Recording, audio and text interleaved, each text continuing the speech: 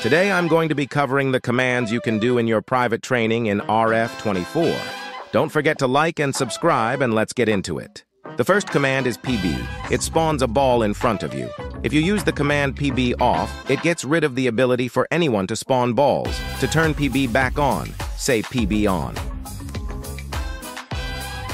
Bib is the next command. It gives a bib to you, which can be useful in playing scrims in training. Say RTP to remove it. The next command is ND or no drill. This command removes the drills to turn it back on, say, D or drill.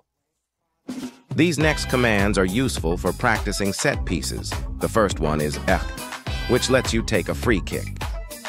The next command is PK. This lets you go and take a penalty. These commands are great for people like Joao Felix. To do a corner kick, type in CK, then type the end you want to take it on, then C, and then left or right. For example, to take a corner kick on the home left side, type CK HKL. The next command is RAll. It removes every single ball in the private train. The final command is a combination of PB and R all, type in B.